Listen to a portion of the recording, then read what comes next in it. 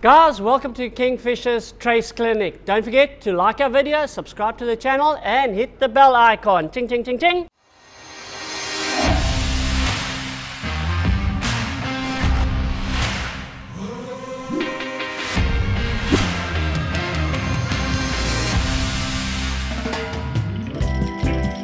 Guys, the next one that I'm going to be doing is a dangle, which is basically a flat dangle like this.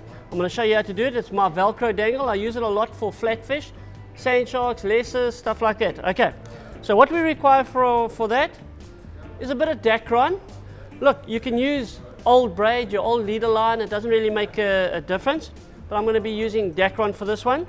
You can either use a float, a round one like this, which is our 12 mil uh, bead um, float. It will float up the, the bait a little bit, so it'll actually sit like that.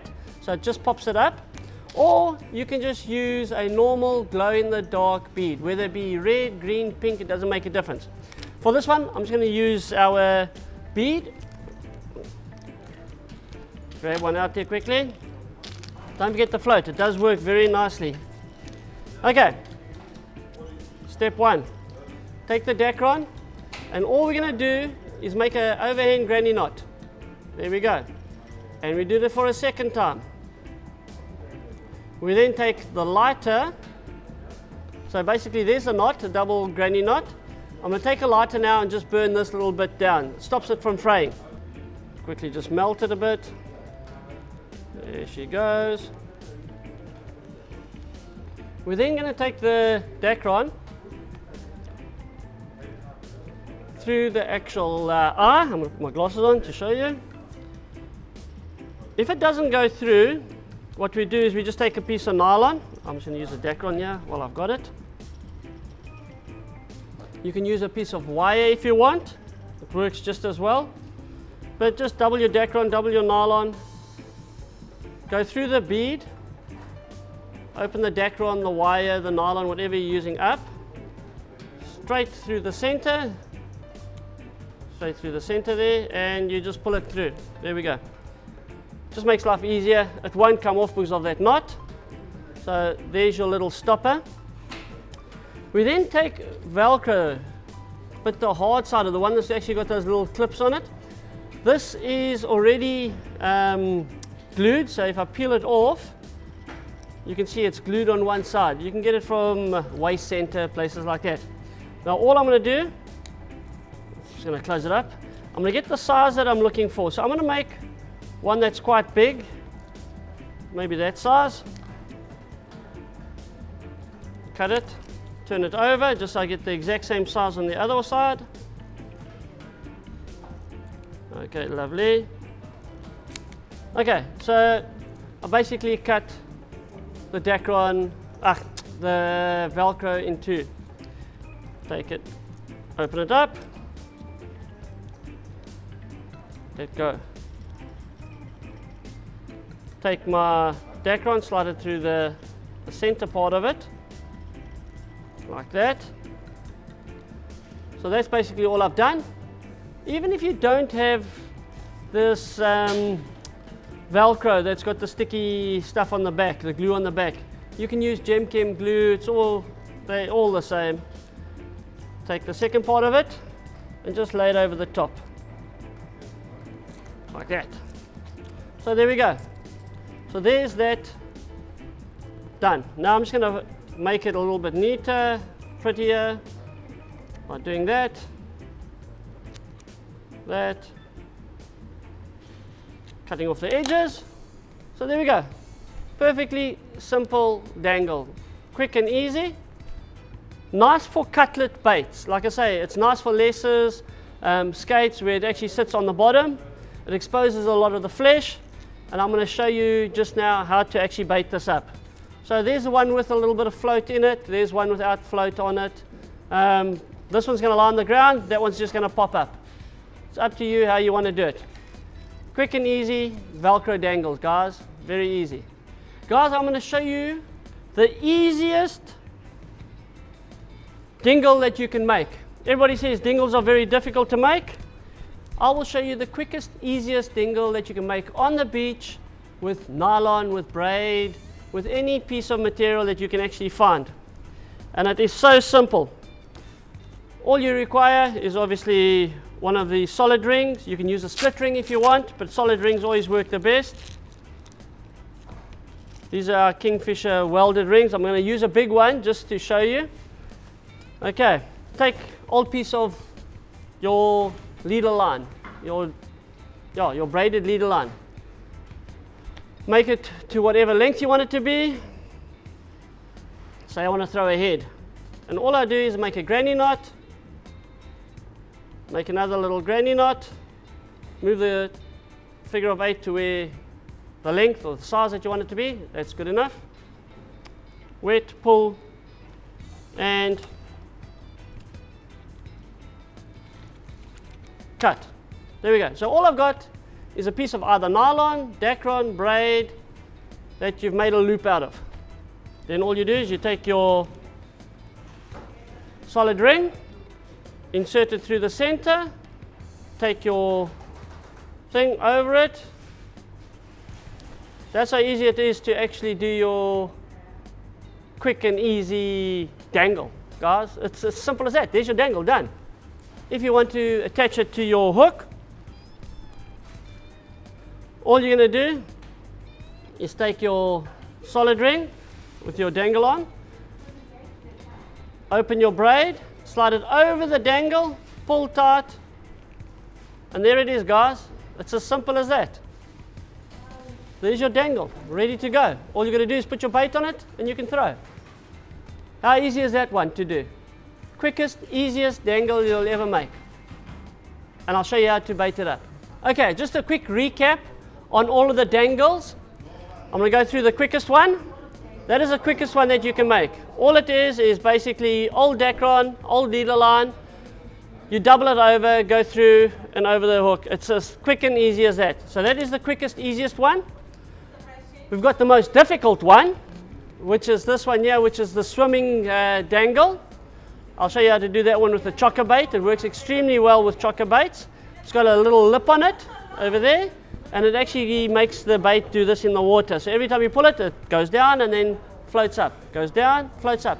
Looks like a little squid going down to get its prey, coming back up. Very, very complicated to make, but actually one of the best ones that we have. Long distance casting one, floats up very high in the water column, ideal for catching hammers. Another version of it is just with straight nylon, grey shark, stuff like that. There's just a nylon version of the same uh, dangle. This is the Dacron dangle. It's a very soft dangle. So if you've got those very shy grey sharks, um, hammerheads, stuff like that, that are very, very shy, this is the kind of dangle that you want to put out there. It's soft, it's supple, they can mouth it and they won't get spooked. Okay.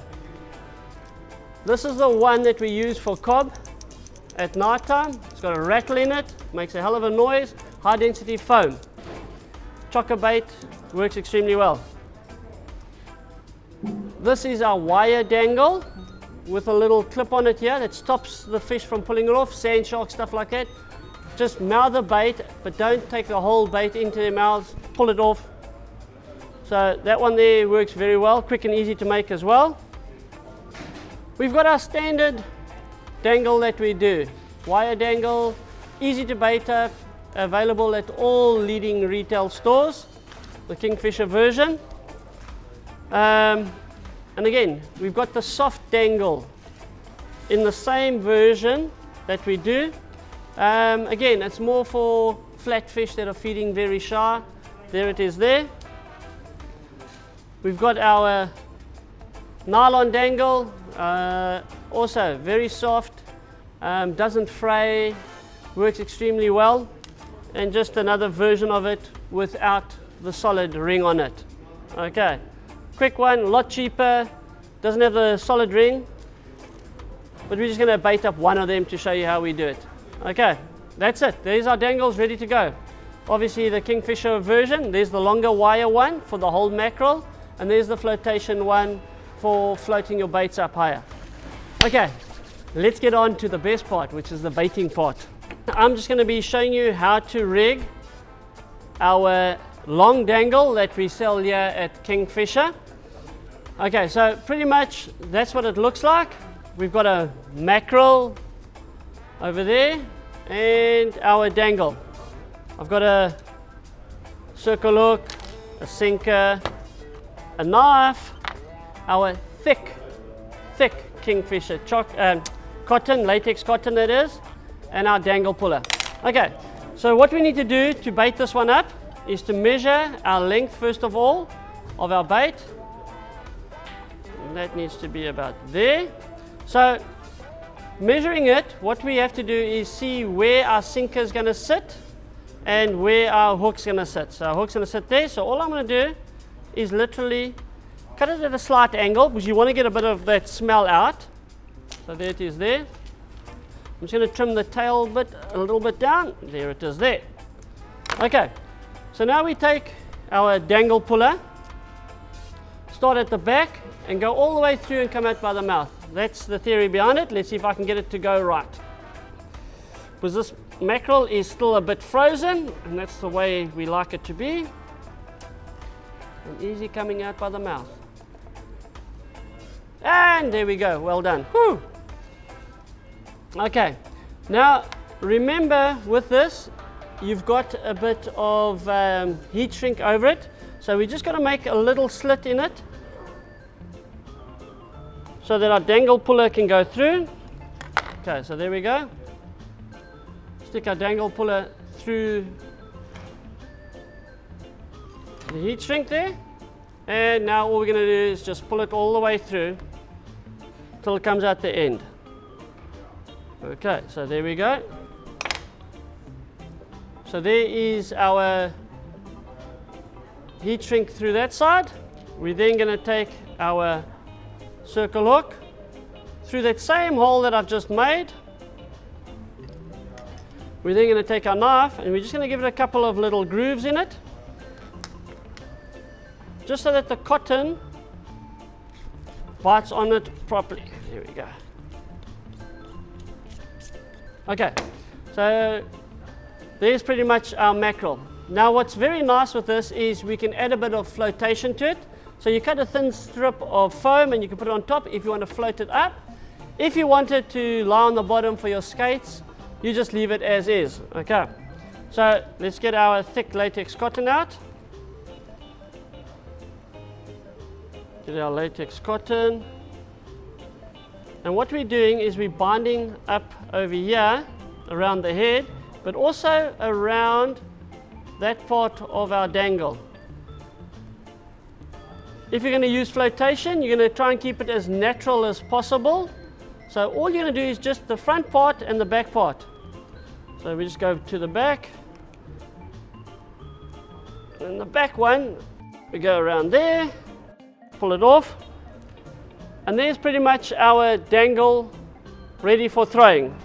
Our sinker is then going to clip on. Our sinker then clips on there. It's a very long aerodynamic bait. And like I say, if you put foam over there, it's going to float it up. If you're going to leave it without any foam, it's going to sit on the bottom just like that.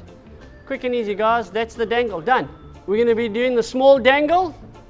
Again, available at all leading tackle stores made by the Kingfisher. It's our saltwater sports trace one.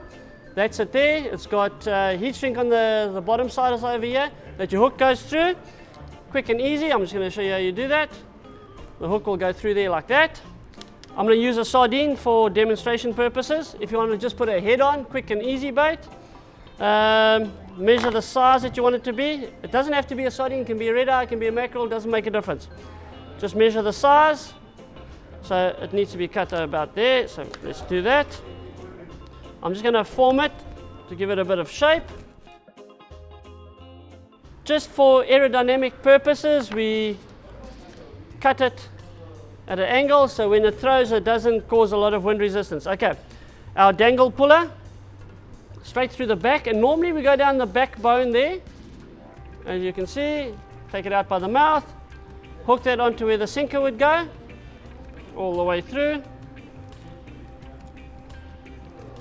We then turn it around and the hook part, we go through the top jaw of our sardine like that. Okay. Now all we're going to do is take our thin latex cotton, our Kingfisher thin latex that I'm using here, and we're just going to tie it up. Whether it be a red eye mackerel, it works exactly the same. Now all I'm going to do is take two little cutlets on either side just to add a little bit more flavor smell. There we go. So we do that on the side bind it up nicely with the thin latex cotton and we can use as much as we want because it doesn't do anything except squeeze the bait out. Do the next side over here. Grab our latex cotton. Like I said it works well with red eyes mackerel. There we go. You can use mullet if you want. That's pretty much the bait ready to go. You will then clip your sinker onto the bottom and there's the bait ready for throwing. So that's using our small dangle for throwing smaller baits. There we go. It's as simple as that guys. Quick and easy dangles already made for you by the Kingfisher. Guys, I'm going to show you how to rig the quick and easy Dacron um, dangle that I'm doing yeah. Okay, so all we're going to do again is take our hook we then put it around, take the Dacron and put it around, open it up, like so, take our solid ring and pull it through. Okay, so there's our quick and easy Dacron uh, um, dangle that we've made out of our old leader line and that. There it is there. To bait it, I'm just going to take one of our old mackerels that I've just used. Uh, just do a simple bait for you. Open it up, like so. Cut down that side there quickly. Just to take the backbone out. Uh, take some cotton, a thin latex cotton, or a thick one, doesn't really matter for this bait. Squeeze it together, still semi-frozen the way I like it. Open the Now, when doing this particular bait, I'm not putting any cotton on this side of it at all. Working our way down to the actual nose piece. Over there, break it off. Take our dangle puller, go from the back all the way to the front where the mouth is. Take our solid ring, stick it inside, pull it all the way down and out. Take our hook at the bottom part over here and through and come out the lip. There we go. Okay, so there it is there, all ready to go. You can put more cotton on and I'm just going to do that to show you. Now we put a lot of cotton just to lock it in place, especially around the nose. And then also just behind the actual hook just so that if you do have one of those sand sharks, um, honeycombs, thorntails, anything along those lines, that they don't pull the bait off. We just put a lot more cotton around it to stop it from being pulled off that way. Okay, sinker goes on over here and you're good to go. That's the quick and easy um, way of doing it. It's as simple as that. It's so simple, guys, you can't beat it. You can do it on the beach, you can make it on the beach there. You can make it to the size of bait that you want. And it works extremely well for catching all your skates and sharks. There we go, guys. Okay, guys, we're to do the hard dangle. This is made out of number 14 wire. You can do 19, you can do whatever you want. It works well with mullet heads, any head basically that might get pulled off. Shad heads. I'm using one of our little mackerel that we get down here, Indian mackerel. Um, I'll just show you how it works. It's so simple. Again, with this one, just take your knife. You can either just cut it off, stick it on. Yeah, let's just do that. Measure the size that we want it to be. That's how long we want it to be. So all I'm going to do is just cut it straight down like that. Cut it at a little bit of an angle like that. Just give it a bit more shape. Aerodynamics. This is a very good bait for when you're fishing for fish when there's a lot of peckers around and you need a hard bait. Okay, so that's the easiest way to explain it. When you want a hard bait, this is how we do it. Cut a little groove in the actual thing there like that. We're to take a dangle puller through the center. And we'll just work it all the way down so it comes out there by the mouth again. There we go. That then gets inserted into the back part like that. Slide it through the mouth. And wherever you want it to actually be, so it doesn't come off. So all I'm going to do is that's the top part of the actual head. Insert that into the nose part. And then the hook part will go in at the back here. And I just got to find it quickly for a second. There we go. So that'll go through there. Like that. Now we're going to slide it down. Where is the head? There's the head. We're just going to give it a little pull so we pull it out.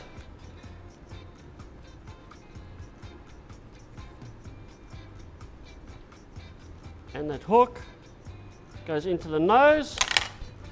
If you can see there, the hook part goes into the nose. And you just give it a little bit of a tug and it sits perfectly inside there. So there it is, ready to go, no cotton needed.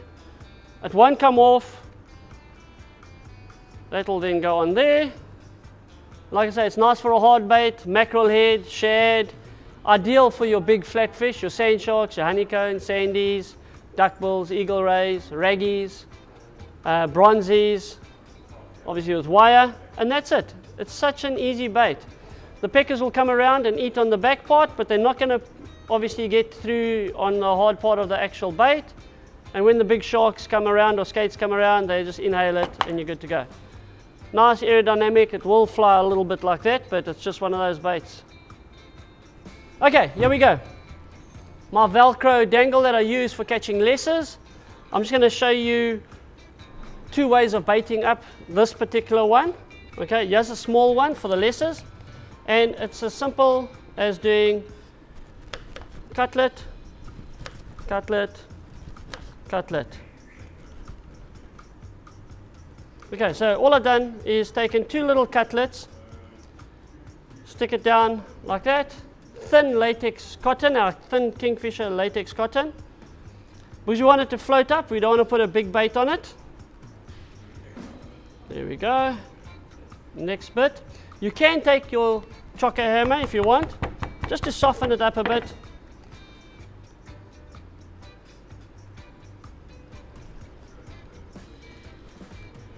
And there we go. Ready to throw. Let's just grab a hook. I'll just show you how we do it. Now what we do with this, and I'm going to put my glasses on, is we go through the Dacron over there if you guys can see through the middle of it. You pull it onto the actual hook twist it around pull it onto the hook. And if you still want it to be closer because it's too far away just do the exact same thing closer to the bait onto the hook. Cut off the little bit of uh, tagging that you have. And there we go. There's a quick simple bait that you can make that when it lies on the ground will actually sit and pop up like that in the water. That little float will just pop it up like that. Gives off a lot of smell because there's a lot of exposure on each side. Obviously this is not one for clipping. Again, it's for lessers, for skates, stuff where you're not throwing too far. So quick, so easy, and of course it's not going to come off in a hurry. The Velcro is going to hold the actual bait on, so if you pull hard on it, you'll see nothing comes off. And the Velcro, I'm just going to take it off, starts to absorb all the flesh as well into it. So that actually still creates a lot more smell in the water.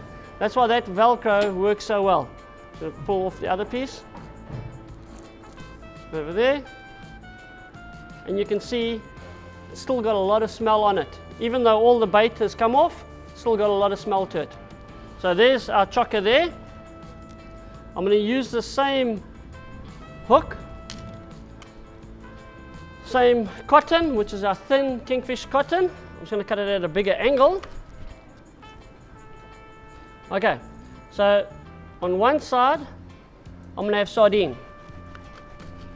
There we go, there's my sardine cut. I'm then going to take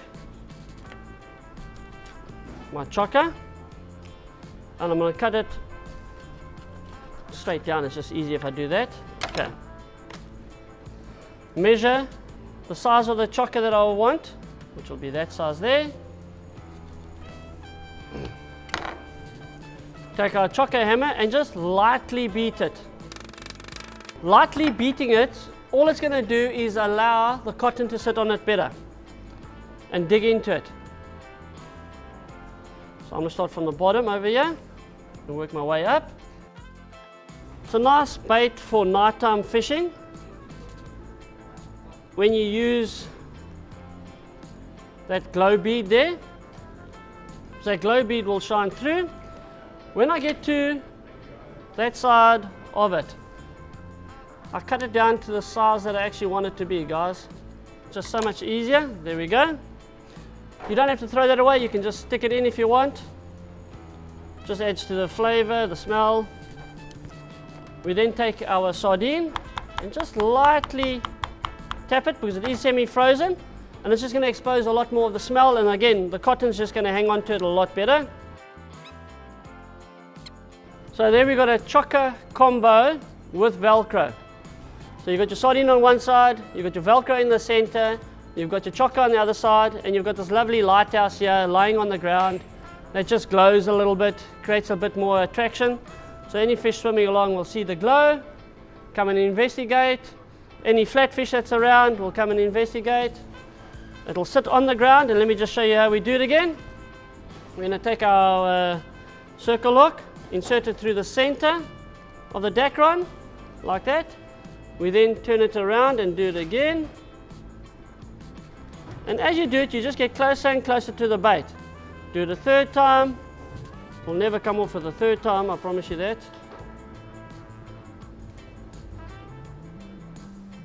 And there we go. Got him. Slide it all the way down. Cut off that excess that we don't need. And there we go, we've got a lovely soft bait that will turn in the fish's mouth every time. Quick and easy. Maybe just cut that off there. Just makes it look prettier for you guys.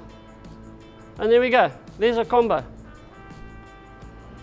You can do so much with it. You can use red eye, you can use mackerel. There's so many different variations you can do with just that bait alone and that uh, Velcro. Lovely for fishing at Mission Rocks, where you're fishing in the rocks there for the lanterns, eel tail barbel. There we go. Quick and easy Velcro bait.